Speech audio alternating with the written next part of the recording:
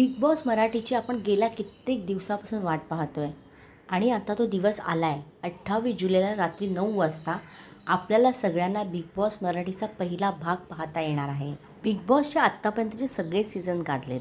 त्यामुळे big boss म्हटलं की आता ह्या सीझनमध्ये नवीन काय याची उत्सुकता सगळ्यांनाच लागते. या सीझनचे वैशिष्ट्य म्हणजे या सीझनचा होस्ट बिग बॉस मराठीच्या आत्तापर्यंतच्या सगळ्या सीझनचे सूत्रसंचालन महेश मांजरेकर यांनी केले होते.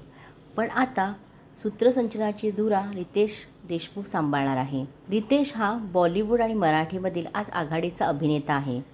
रितेशचे प्रचंड फॅन फॉलोविंग असून त्याचे फॅन्स बिग बॉस मराठीची आतुरतेने वाट पाहत आहेत. सूत्रसंचालन हे रितेशसाठी काही नवीन नाही आहे स्टार प्रवाहावरील विकता का उत्तर या कार्यक्रमात तो सूत्रसंचालनाच्या भूमिकेत दिसला होता आणि त्यावेळी त्याचा हा अंदाज त्याच्या फॅन्सना प्रचंड आवडला होता.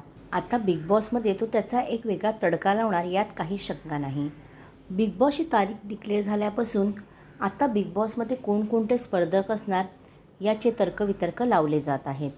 Social media influencer Konkan hearted girl म्हणजेच अंकिता वालावलकर ही बिग बॉसच्या पर्वामध्ये स्पर्धक म्हणून सहभागी होणार असल्याची चर्चा सध्या बिग बॉस मराठीच्या फॅन पेजवर रंगली आहे.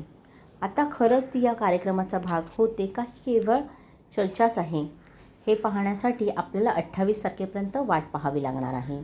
अशाच प्रकारच्या बातम्या बघण्यासाठी पी स्क्वेअर मराठीला सबस्क्राईब करा आणि आमचे व्हिडिओ लाईक आणि शेअर करा.